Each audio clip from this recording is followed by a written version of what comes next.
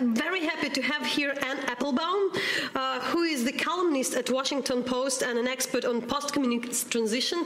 Anne is running Transition Forum at the Legatum Institute in English and is a famous intellectual explaining a lot, a lot, a lot about what's happening in this part of the world uh, for many years, but especially now. So welcome to the studio. Thank you very much. Thanks for having me. As always, we're happy to have you here, and we have a few questions, so having a champion explainer is a good one. Um, especially as we're seeing the pressure in Russia kind of build up. You know, you had this adventure in Ukraine, and now you have a new one in Syria. How is Putin keeping control of the Russian populace? What sort of tools is he using there? Is there anything new going on, or is it old trends being built up on? I should first of all say this question of old and new is a complicated one. Um, Putin and the people around him are people who were trained and educated by the KGB, and so, so that's old. That's that's old. That's their mentality. That's where they're coming from. That's the you know you can you can see it in how they see the world. Um, many of the techniques they now use um, however, are new and more, sophisticated actually than than than the old-fashioned, um, you know, the old-fashioned forms of media control and social control that that the Soviet Union used. So Russia is really a very different place now. Um, but you know, if we just speak about media, um, you, of course, in, you know, in Ukraine know this better than anybody. But um, the, the way in which Putin manipulates the media is, again, both new and old. So nowadays, there isn't one Pravda or one television channel saying the same thing over again. The Soviet Union is good. Now you have a dozen of them. They sound different. They argue with each other sometimes um, you know, television channels, entertainment channels, newspapers, websites. Um, but they, but about 95% of them stay within a single narrative. So although they are different and they sound different and different people work at them, they they underline the same points over and over again. And this is echoed also in social media and it's echoed um, in politicians' statements. And you can, you know, I, I can always tell from my Twitter account what is the Russian line of this week or this month because it begins to be repeated by people commenting. People come out of nowhere. people come out of nowhere, and so and so, so, I mean that's sort of a new version of the party line coming down, where before right. it was in the party paper, now right. it's through these different sources, but works right. out to be the right. same. Right. Well, and, and you know the Syria thing has been interesting. You know, you even you the com you know until recently, the, the, you know, the Russian line was all about Ukraine. The Ukrainians are Nazis. We need to form again an anti-fascist coalition to fight against the Ukrainians. Um, you know, we're saving our Russian brothers in Ukraine. You know, these are the kinds of lines you would hear.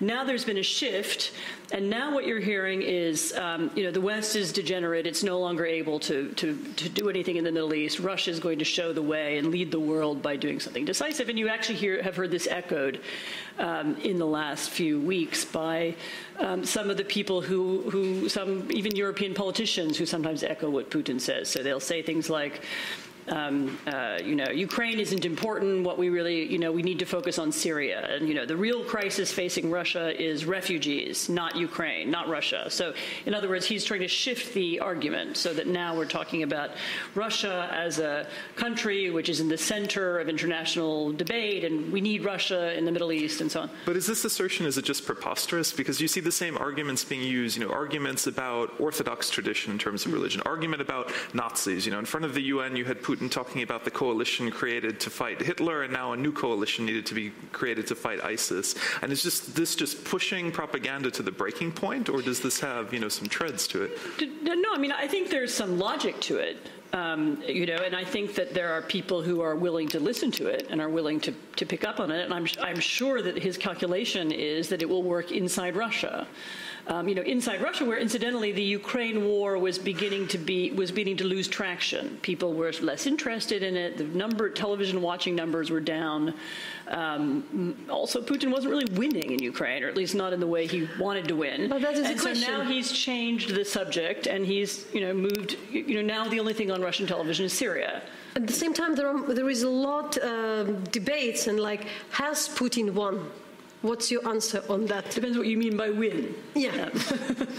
uh, to use an Americanism, but um, it, it, so no, he didn't. He didn't win in the in his original idea. In the original idea of creating Novorossiya, breaking mm-hmm. off all of eastern Ukraine, creating a new state, something like Transnistria. He did not succeed in doing that. I think what happened was is that he believed his own propaganda, and he didn't believe you know, he did he did believe that you know anybody who spoke Russian in eastern Ukraine wasn't a Ukrainian; they were a Russian, and so they really would you know, come out on the streets and cheer when Russian soldiers. But if you to get the ball rolling and then that's what would he, kind of go that by was itself. what he thought would happen. Yeah. That didn't happen, and Ukrainians did fight back, you know, for better or for worse. Um, and you know, he didn't expect to have any opposition, and he did. And so he, he failed everywhere except sort of in Donetsk and Luhansk, but at a huge cost. And so that was not the idea that he wanted. So no, he didn't succeed in creating Novorossiya. Um, of course, what he did do was he destabilized eastern Ukraine, and of course he can continue to do that, as you, I, I don't have to tell you, in, in many other ways. And uh, before we go into that, I also encourage you to ask uh, questions in our Twitter. Also, you would can address a question to Anne, um, so she might answer, uh, being here live in Kiev. And with this um, inner disturbance also, because it's a different stage of the conflict. Uh, I mean, uh, there was an occupation of Crimea, later there was a full-scale war in the east of Ukraine. Now it looks different, a frozen conflict, wherever you uh, call it. So, um, what do you see the, are the other tools of influence at that at this moment? Well, the frozen conflict can obviously be revived at any time. So that's you know it's always there. You know it. You know it can always be it can always be created recreated again. I mean, for, you know it's not an accident that it went quiet just as the Syria crisis began because the conflict depends on how much the Russians want it to be there. So it's their conflict.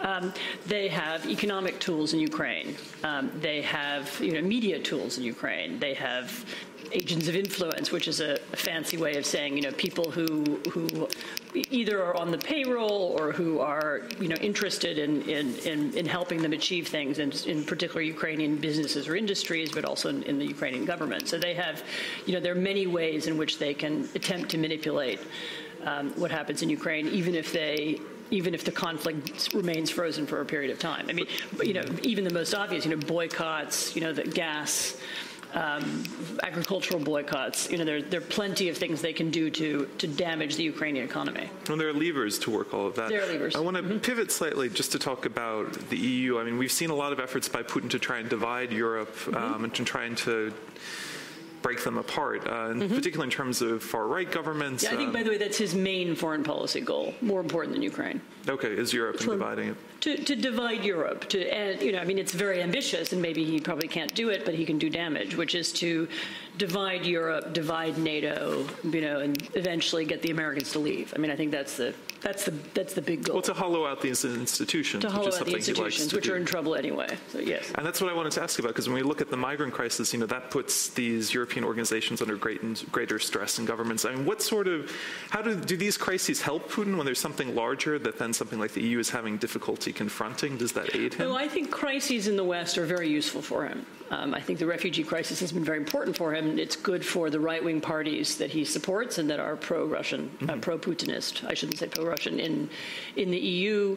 Um, it creates, um, you know, a sense of dissatisfaction in the EU. You know, European institutions seem unable to deal with this, which is true. They they are unable to deal with it, um, and so it it, it it it adds to his. You know, and it also, as I said, we've heard these arguments. I think um, you know, if, if, memory serves, we've heard them from President Zeman in the Czech Republic, who said, you know, this refugee crisis is what's really important. Russia, you know, this conflict with Russia needs to be put aside so that we can resolve this refugee crisis together. And Viktor Orban has said something like that as well. So, so you know, he it, it, it enables people who um, who who may have their own issues with the EU also to to. to when it's trying to change the conversation in another way, it's saying let's you know let's not talk about Ukraine, let's not talk about that, let's talk about refugees. Yes. These are people who didn't want to have the conversation about Russia yes. to begin with. Yes. Another story with this, um, you know, where the conversation is, um, it's a lot about populism, but also it's a lot about this relativism, you know, that everybody is equally bad, everybody has its own agenda. So that was something different. We're corrupt, we, you're corrupt. Yeah. Right. But um, that's what we've discussed. How it's working. Is it really that there is this huge distrust in Europe um, regarding also their governments and how it's not just about the Russia. That's what we feel also when um, we talk as Ukrainians to many people in different European countries that there is this kind of a huge distrust everywhere to the governments and uh, who are acting currently in the European Union, in the UK, in Poland, in Hungary, in the United States. So how um, that everybody is corrupt. You know, when the Ukrainians are coming and explaining, you know, we had a corrupt president, like our, ours are not uh, even a bit better. Um, so, what impact that kind of change of discussion has to the? Well, so there, you've you just asked sort of several things at once. I mean, so yes, there has been a, a Russian line um, and I, you know, I've heard it several times from senior Russians, you know, myself, which is, okay, I admit, you know, we have corruption. Maybe even Putin is corrupt. But you're also corrupt, and you're corrupt in exactly the same way. And there's no moral difference between you and us. And the West and Russia are really the same, and there isn't any, you know, there's no distinction to be made between them. And so you might as well trade with us anyway. So stop talking about it. And that's a line that they use, which I think is designed mostly to work inside Russia um, to, to, you know, to convince Russians there's no alternative. Like, okay, maybe this system isn't perfect, but believe me, you won't find anything better anywhere else. Um, when it appeals it, to that built-in cynicism, and it appeals well. to this, this, kind of post-Soviet cynicism, um, and but but the, but the second issue is, you know, yes, there is something else happening um, in Western Europe and the United States, I would say, which is um, partly to do with the breakdown of, a, of a, not, not so much mainstream media, but a mainstream political dialogue. You know, you're beginning to have sort of media communities that don't speak to each other. So, you know, a right wing and a left wing, which not only disagree about, you know, what we should do about um, the transportation system, but they don't actually even agree what the problem is. There's no, there's no joint narrative. Um, and that makes it very hard to do any kind of political deals or make compromises if you don't e- even agree what the story is. If one group is watching one television station and reading one set of internet media and the other one is doing the other. And you have this, and this is now true all over Western Europe, uh, not all over Europe and the United States.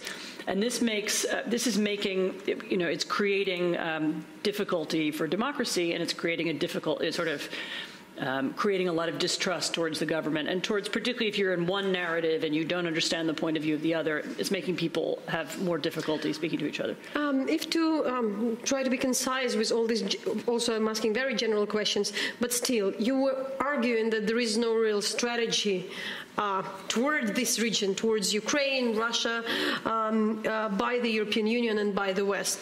Is it somewhere there? Has it appeared uh, by this stage? So there are pieces of it. Um, and there are, um, you know, there are people who are beginning to have a strategy. Um, it's an unusually bad moment. And, you know, we're at an unusually bad moment in the American political cycle because Obama is reaching the end of his administration. He's not able to, um, to he, he's not going to do anything dramatic. He's a lame duck president. He's a lame duck president already, very early, actually. Um, we don't know yet who's going to follow him and what their policy will be. Um, you have the weakest president in French history that anybody can ever remember, who also seems unable to take um, clear decisions.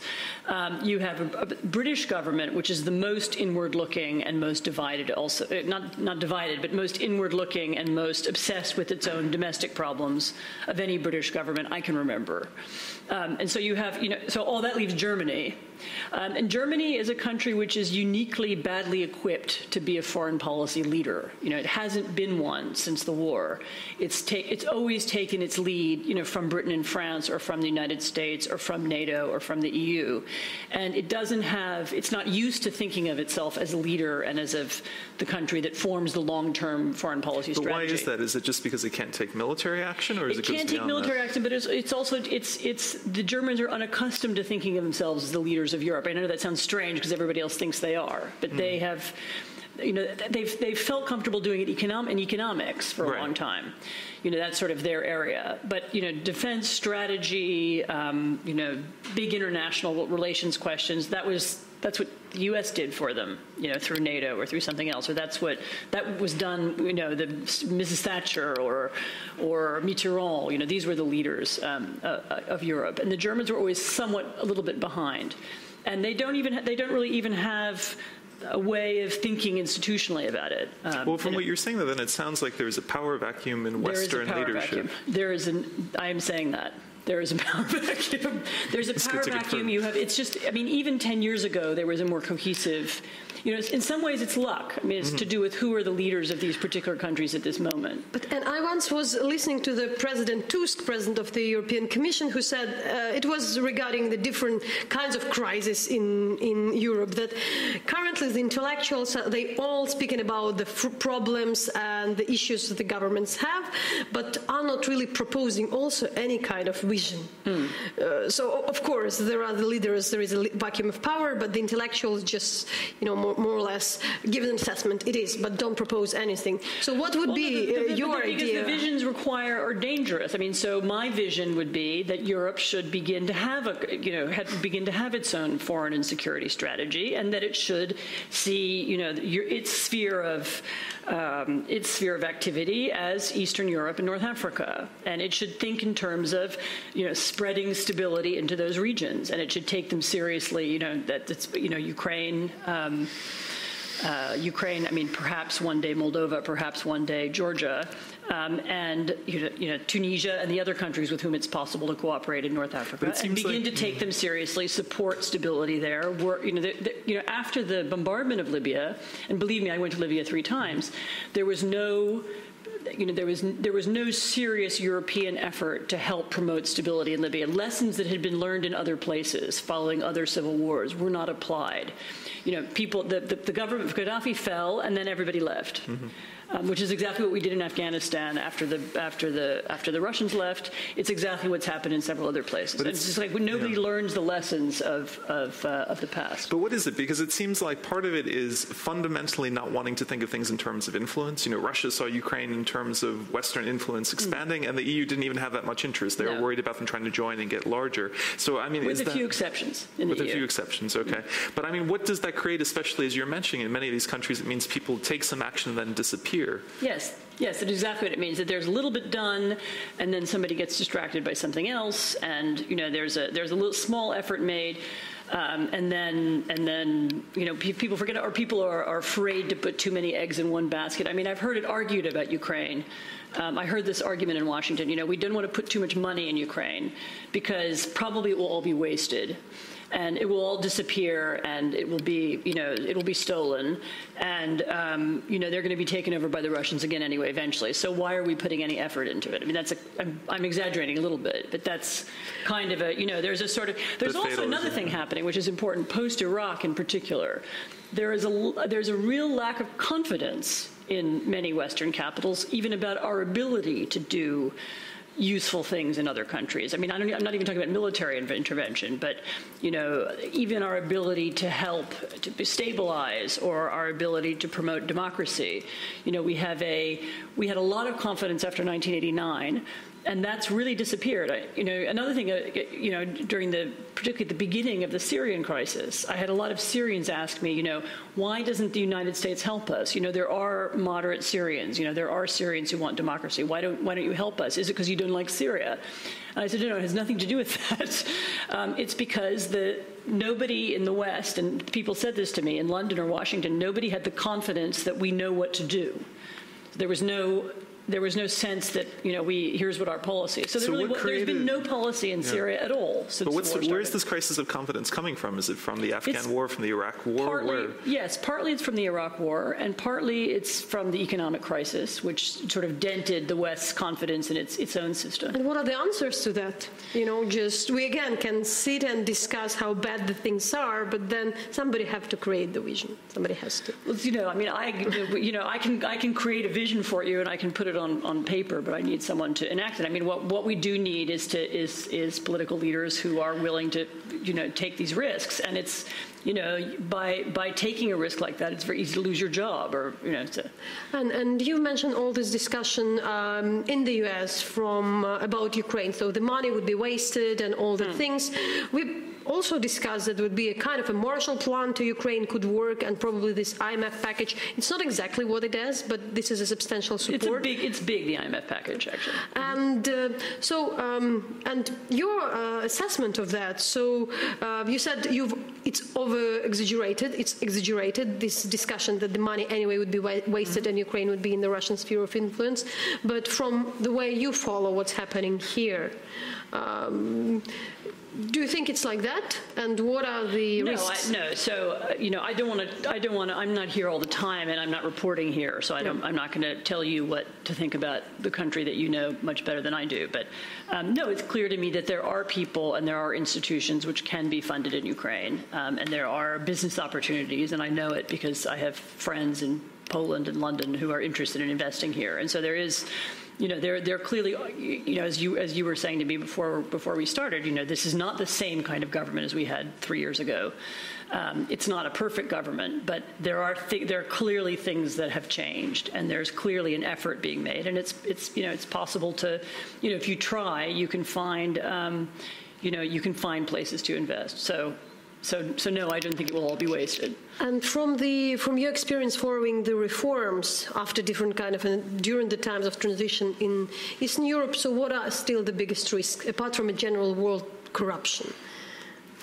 I mean, generally speaking, as I understand it, and this is not, I haven't spent a lot of time studying, you know, the legal system in Ukraine. I mean, I think you have a, you know, you have a, you have one set of problems which is to do with administrative regulation and the, diffi- you know, difficulties. You know, a lot of corruption can be eliminated by just eliminating by simplifying the law.